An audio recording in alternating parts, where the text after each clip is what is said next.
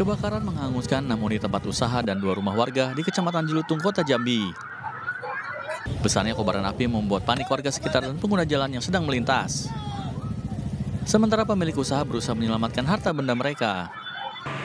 Api berhasil dipadamkan satu jam kemudian setelah belasan unit mobil pemadam kebakaran dikerahkan ke lokasi. Menurut petugas, kebakaran diduga akibat ledakan gas dari salah satu tempat usaha. di Jalan Sumantri dan yang menghanguskan enam tempat usaha dan rumah-rumah rumah tempat tinggal. Dari hasil pemadaman kita menurunkan 15 armada Tidak ada korban jiwa dalam peristiwa ini, namun seorang petugas pemadam kebakaran mengalami cedera karena terlalu banyak menghirup asap.